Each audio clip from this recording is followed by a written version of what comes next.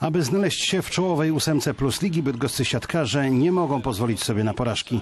Pierwszego seta z efektorem w Kielcach bydgoszczanie wygrali stosunkowo łatwo, choć nie ustrzegli się licznych błędów, zwłaszcza przy zagrywkach. Ponieważ i gospodarze nie najlepiej radzili sobie z tym elementem gry, transfer wygrał do 15.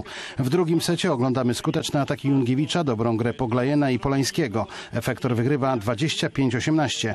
W trzecim znów lepsi bydgoszczanie grają efektownie i skutecznie. Set do 15 dla siatkarzy Witala Heinena.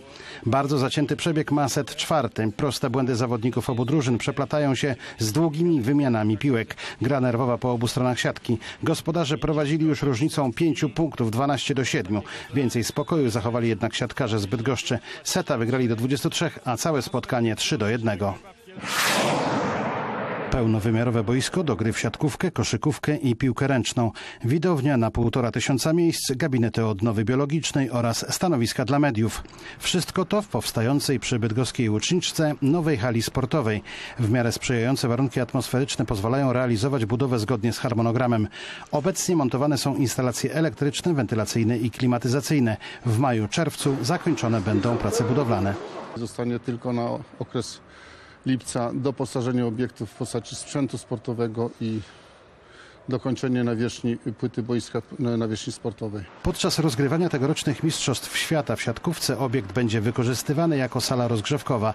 To istotny, ale nie jedyny powód budowy hali.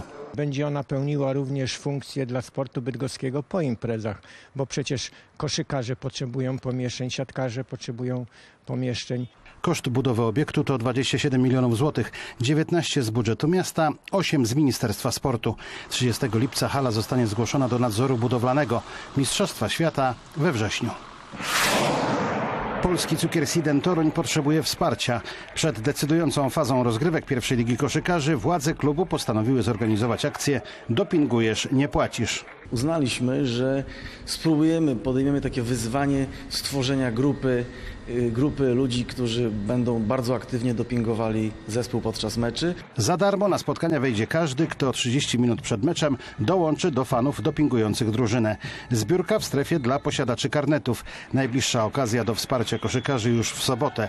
Przeciwnikiem Sidenu będzie WKK Wrocław. Klub planuje również kolejne akcje dla kibiców chcących wspierać zespół w walce o ekstraklasę. Thank you.